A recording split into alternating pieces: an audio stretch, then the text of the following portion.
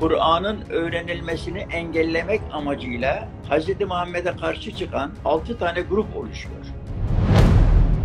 4 tane üst mevkide Yahudi haham bir grup oluşturuyor. Ve bunlar da Kur'an iniş sırasında korunmuştur şeytanların karışmasından dolayı. Yapılan hatalar hep tarihsel olarak 1400 yıl önceden başlıyor. Özellikle de bu e, tercüme hatalarını e, yaptıranlar kadınlarla ilgili olan ayetlere öncelik verdiler.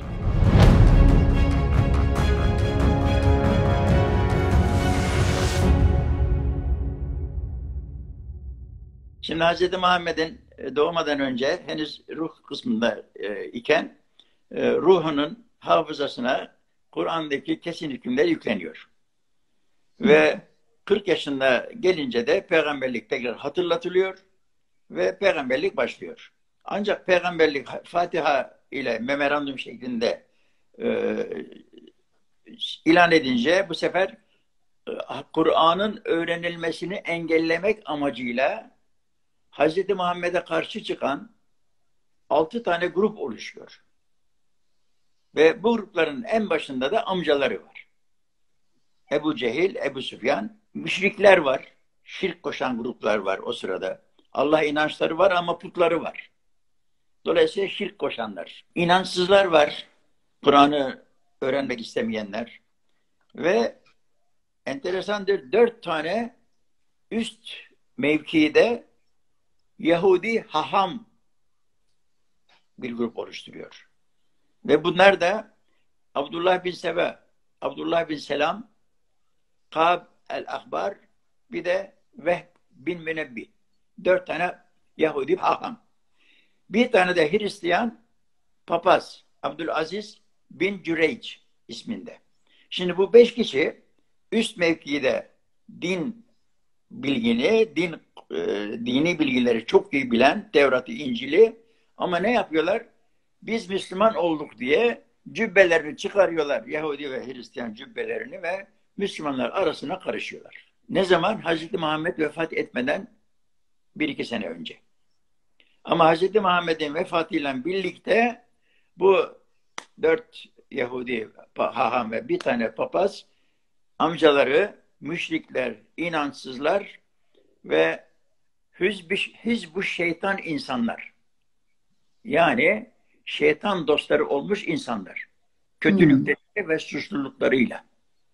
Bunlar da bir grup. Bunların hepsi el ele veriyorlar ve Hz. Muhammed'in vefatından başlamak üzere iki, konu, iki konuda faaliyetlerine başlıyorlar. Ve başladıkları konulardan bir tanesi grup düşman gruplar oluşturuyorlar Müslümanlar arasında. Hazreti Muhammed'e iman edenler arasında. Ve oluşturdukları bu e, gruplar Hazreti Ali, Halife Ali taraftarları, Ümeyye aşiretinin taraftarları yani Emevi taraftarları ve Muaviye taraftarları, Ebu Süfyan taraftarları, bir de hariciler. Bunları bölüyorlar ve, ve Hazreti Muhammed'de iman edenler grupları düşman gruplar haline çeviriyorlar. Fitnelerle. Bu birinci faaliyetleri. İkinci faaliyetleri e, Kur'an iniş sırasında korunmuştur. Şeytanların karışmasından dolayı. Karışma tehlikesini bertaraf etmek amacıyla Kur'an indirilirken Hz. Muhammed'e vahiy, vahiy edilirken korunmuş. Dolayısıyla Kur'an'a bir şey karışamıyorlar. Bu altı grupta. Özellikle dört papaz ve dört haha ve bir papaz. Karışamıyorlar ama bu sefer de stratejiler geliştiriyorlar. Geliştirdikleri, geliştirdikleri stratejilerden bir tanesi e, Kur'an'ın e, anlaşılmasını zorlaştırma, insanların anla, anlamalarından uzaklaştırma ve Kur'an'ı onlardan uzaklaştırma stratejisi. Peki bunu nasıl yapacaklar?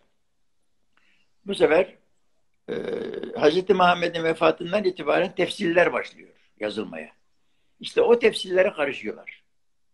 Ve tefsirlere karışıp ayetlerde kelim, kelimelerin anlamlarını kaydırma yapıyorlar.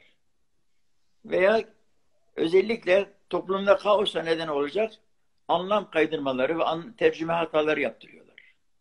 Çünkü o sırada İbranice'ye Kur'an çevriliyor, Farsça'ya Kur'an çevriliyor, Süryanice'ye Kur'an çevriliyor. Ve tefsirler başlıyor.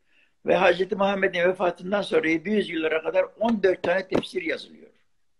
Çok enteresan. Ve 700 yıl 800 yıllar arasında da 11 tane yeni tefsir yazılıyor. İşte karıştırdıkları e, e, yerler hep tefsirler oldu. Tefsirler de tabii yaşadı yaşadı ve en en çok yaşayan tefsir de Taberi'nin tefsiri.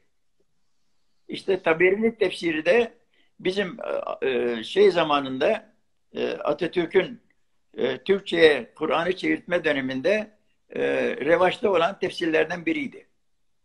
Ve Taberi'nin de tercüme ettiği de Kur'an'da vardı. Farsça. Ve Farsça Selmaniler zamanında e, Emirullah diye birisi de Farsça'ya Kur'an çevirdi. O da yaşayan bir Kur'an'dı. Farsça Kur'an. Şimdi yapılan hatalar hep tarihsel olarak 1400 yıl önceden başlıyor. Tercüme hataları. Bir şey soracağım. Bir şey soracağım hocam burada. Şimdi doğru mu anlıyorum? Hazreti Muhammed'in e, ömrünün son yıllarında Müslümanmış gibi görünen ama aslında İslam düşmanı olan birileri e, ayrımcılık yarattılar ve tefsirler aracılığıyla da Kur'an'ı bozdular. Doğru. Yani te, tercümelerde, orijinal metinde zaten bir değişiklik yapılamaz. Peki bir şey diyeceğim. Biz bunu Anlam nereden biliyoruz? Anlam kaydırmaları yaptılar ve tercüme e, çok anlamlı kelimelerden de toplumda kaosa neden olacak anlamlı olanları tercih ettiler. Çünkü onlar Peki hocam.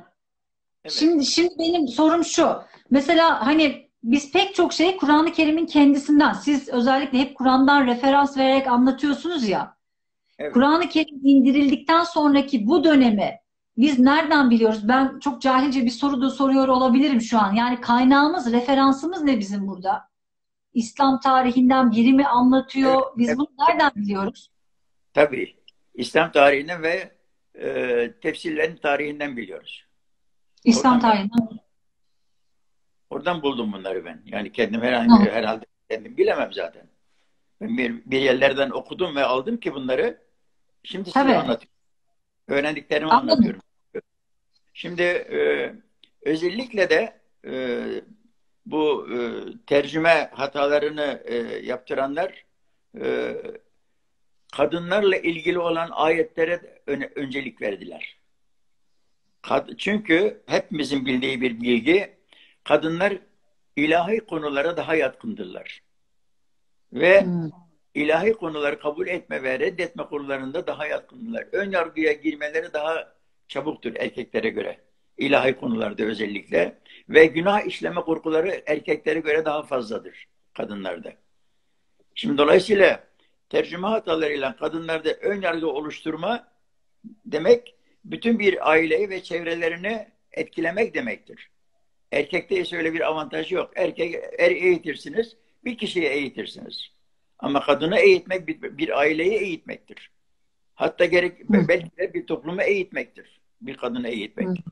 O nedenle kadınlarla ilgili ayetlerin kelime tercümelerinde kaydırmalar yap, e, e, onların ilk hedefi olmuştur. Şimdi e, bu konuda özellikle konuya e, Tevrat'tan itibaren başlayacağım. Çünkü hı hı. Tevrat'ta e, kadının Adem'in kaburga kemiğinden yaratıldığı ön yargısı var ya. Hı hı. Tevrat'ta geçer o çünkü. Tevrat'ın tekvin ve yaratılış bab ikisinde geçiyor. Ve Rab Allah adam, adamdan aldığı kaburga kemiğinden bir kadın yaptı ve onu adama getirdi. Ayet bu Tevrat'ta.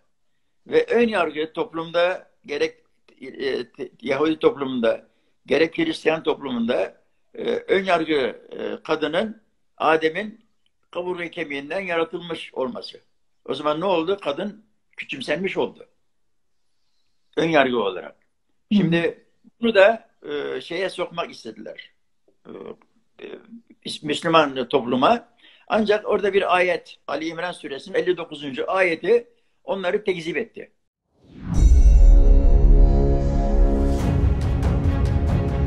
Kur'an korkulacak bir kitap değildir. Yeter ki onu anlamak üzere çaba gösterin. tam 22 tane tercümeyi karşınıza aldınız ve hepsini kendi tercümelerinizle de karşılaştırarak orijinal metinleri de söyleyerek bizimle paylaştınız. Bu çok tartışılan ayetlerle ilgili Kur'an'ı ayet ayet insanlara açıklama ve din kurallarını açıklama bir mesleği gerektirmez. Para kazanılacak bir meslek kitabı değildir Kur'an. Şirk koşan bir, riyaya sapan, riyakarlık yapan iki ve olumsuz ameller işleyerek suçlu olanların kalplerine dünyada ilk yaratılan Adem değil kadındır. Erkek değil kadındır. Ali İmran suresi 7. ayetinden benim çıkardığım sonuç bu. Nisa 3 çok eşli evlilik ayeti değildir. Tek eşli evlilik ayetidir. Nisa 6'da çocuk gelinleri yasaklıyor. Geleneksel olan bir kıyafeti dinselleştirmek yanlıştır. Ek bir haramlaştırmaya girer. Ve Hz. Muhammed şöyle der zaten bunu şöyle açıklar. Sizin en hayırlınız Kur'an'ı anlayarak öğrenen ve anladığını öğretendir der.